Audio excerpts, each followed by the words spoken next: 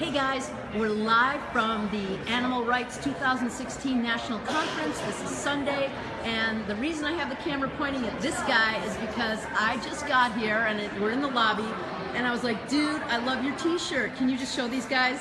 Yeah. Yeah, isn't that awesome? Enjoy kale. Awesome. So I thought, and that plus the name tag, tag, I thought, ooh, an animal rights comrade. So sat down to have my coffee. We got to talking.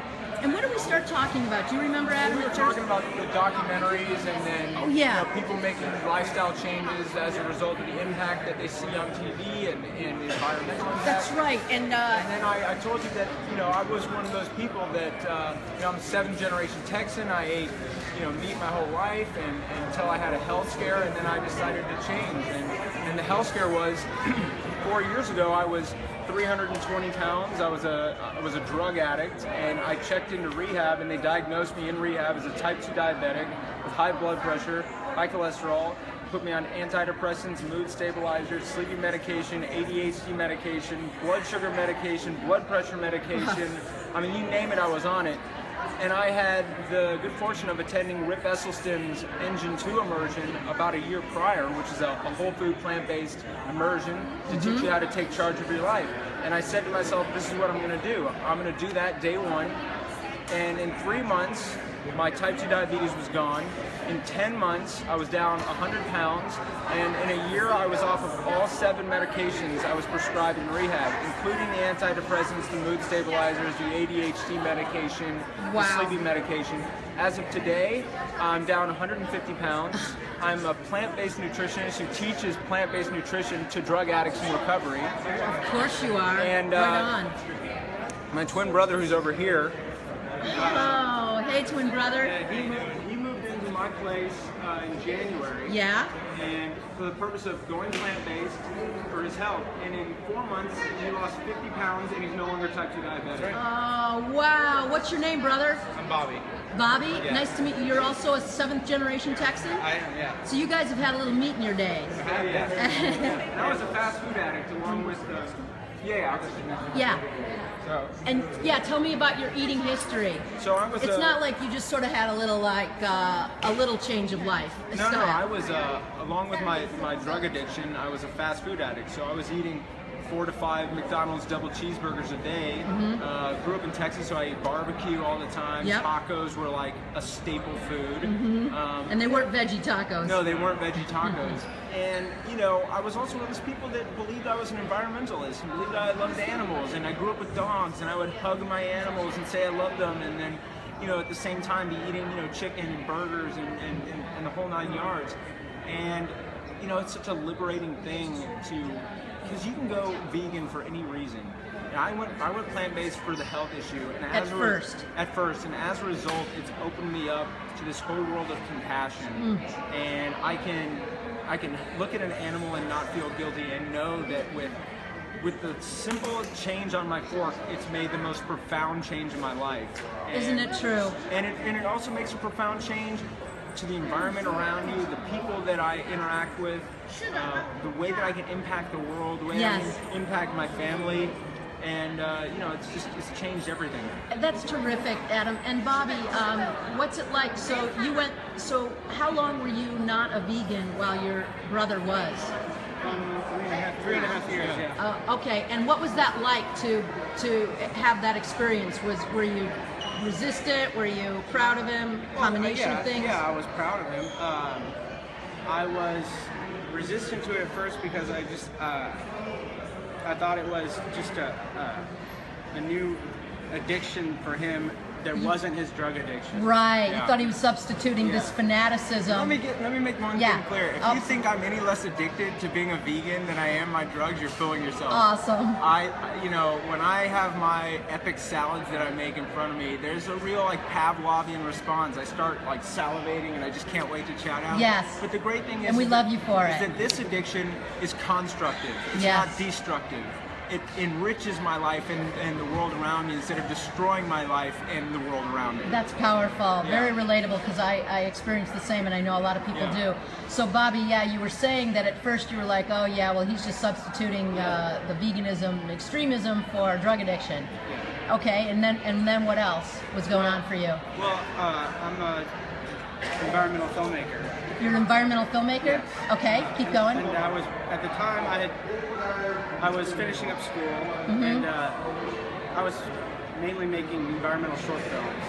And so I would go and there would be an environmental film festival. Yes. And so Which he won the Emerging Filmmaker Award for his most recent one at the uh, National Geographic Grays, Real, Grays Reef Film Festival. Wow, terrific. What's the name of the film, Bobby? it's called We Easily Forget. We easily forget. And and what's the the quick gist of what it what the I film? was, it was filming wildlife in the freshwater wetlands of Georgia, which could be destroyed by dredging the Florida savanna. It has, it has a great soul to it. It's very in the in the in the of Terrence Malick, very poetic and a, and a true expression of his connection to nature. Oh, that's fantastic. So uh, uh, we easily forget by Bobby. What is it? Sud. Sai. Sud, S U S U D. SUD. Yeah. So so go ahead, Bobby. Um, so you were environmental environmentalist filmmaker, and here you were, you know, chowing down and really super overweight. Yeah. You've lost 50 pounds so far, right? Because about three months ago, you uh, you've allowed your brother's influence to. Yeah. Yeah, five months as About, of now. about yeah. five months, Yeah. and uh, and so go ahead. So you were so at first you thought it was Adam was just transferring his addic- his addictive personality. You were an environmental filmmaker, I was yeah, I was just making excuses because I didn't want to I didn't want to put in the effort to be vegan Right. at first. But then I'm, I'm sitting at a film festival and I'm watching my film on screen and I'm looking around and the audience is all environmentalists. yes, They're all either environmental filmmakers or environmentalists. So because I don't I don't make films like Cowspiracy, big films that reach a wide audience. Right. My my films are just preaching to the choir. I'm really not accomplishing much as far as spreading the word of environmentalism by just making short films at film festivals. right. By going vegan, I'm actually making a difference. In what way? Because every day I'm not eating meat, uh, I'm helping uh, fight global warming, and uh, I'm helping ridding the world of cruelty. That's that's fantastic. You're also living a compassionate life, which, which, which that energy changes every way, you, everything that you do, and, and, impacts every action that you do. And what would you say to other? Because I know in the environmentalist movement, for the most part, they are none of that. They're not vegan, and uh, yeah, it's it's a pretty fascinating thing to notice. What would you say to those who are uh, uh, environmentalists or whatever you want to say, very committed to climate change, but still eat animals?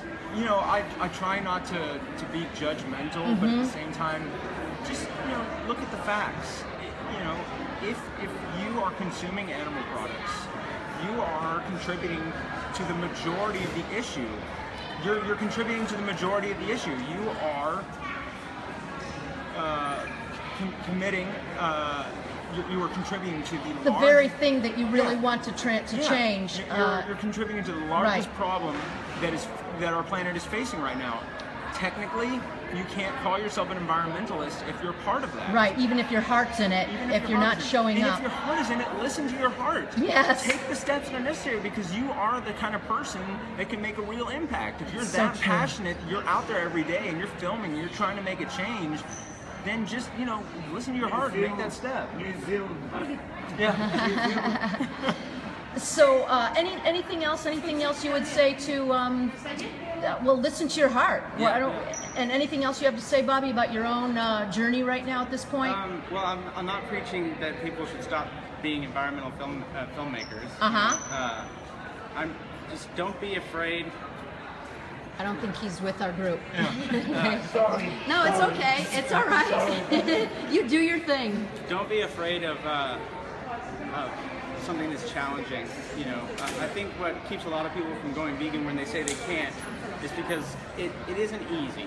Yeah. It's not as hard as they think, but it isn't easy. But You if know, lifestyle change is easy. But if, if you're if, if you want something, if you're trying to lose weight, if you're trying to improve your health, if it's not challenging, it's not going to change you. That's right. And I would. I, I always. There's a saying. Um, it's not difficult. It's just different. That's right. And I'm actually a new vegan. I've only been vegan four months, and I'm I'm in it to win it. Yeah. I'm in I'm in the club forever. Yeah, I would say if you're not going to commit to 30 days, Yes.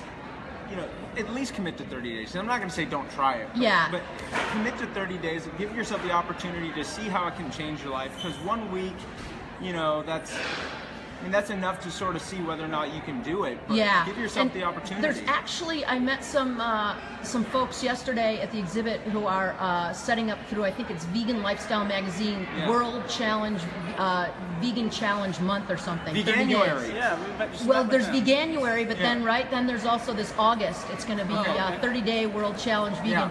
And what I wanted to say about myself is that um, uh, it, it's that um, it's not difficult for me to eat vegan. And I, if you had told me less than a year ago, if you had told me eight months ago that I was going to be vegan, I would have told you you are out of your mind. Yeah. I- and so what I wanted to just say about that is that given that I never thought I could even go a day without dairy, it's not hard at all. What's hard for me is when I'm out in the world and like 99% of the population isn't. That's my challenge, and I'm up for it. I'm, you know, that's that's the least I can do for the animals because they're in a much bigger, horrific challenge. Yeah. Any last words, guys? Because this has been really terrific. Uh, you know, my thing is that uh, any kind of lifestyle change, you got to be comfortable being uncomfortable. That's the way you do it. Right on. And that, honestly, the most profound medicine I've ever come across has been what's on my fork.